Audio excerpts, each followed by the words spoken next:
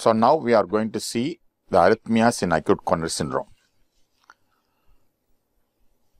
So whenever you have an arrhythmia in an acute coronary syndrome, be it ST elevation ACS or non-ST elevation ACS, there is lot of confusion. First thing is we have to see whether the patient is hemodynamically stable or not. Second, whether it is early arrhythmia, which is less than 48 hours old or late arrhythmia, which is more than 48 hours after uh, the arrhythmia occurring after 48 hours.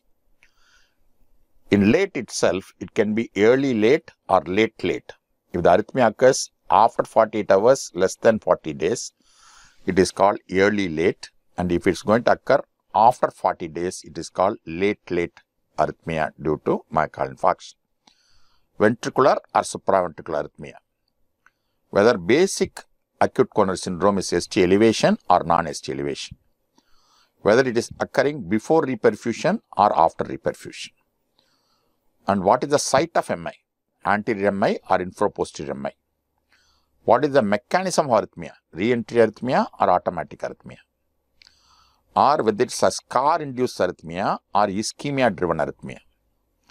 Whether what will be the basic structural heart disease? Whether it's LV dysfunction is there or heart failure is there or in the presence of normal LV function, patient is having arrhythmia. So all this, these information is necessary to appropriately manage, appropriate diagnose first and manage the arrhythmias in acute coronary syndrome. So because of this huge uh, classification confusion, I thought we'll remember just four Ds and uh, this is devised uh, our own, so don't ask any reference here. So D for diagnostic arrhythmias, next D for dangerous arrhythmias, next D for difficult arrhythmias, and fourth is don't do anything arrhythmias. So we will classify arrhythmias in acute coronary syndrome in these four Ds and look at eh, the ECGs and management in each one of these four segments. First, we look at diagnostic arrhythmias. What arrhythmias will tell you patient has got acute coronary syndrome. So, these are diagnostic arrhythmias. So, this you see ECG, this is a classical polymorphic ventricular tachycardia. This is a polymorphic ventricular tachycardia because it's a wide QRS irregular tachycardia with varying shape of the QRS and varying width of the QRS.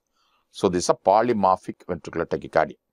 So, but it is not torsades pointes. Please remember polymorphic tachycardia can be torsades pointes which usually occurs in the presence of long QT whereas this type of polymorphic arrhythmia tachycardia occurs in the presence of acute ischemia.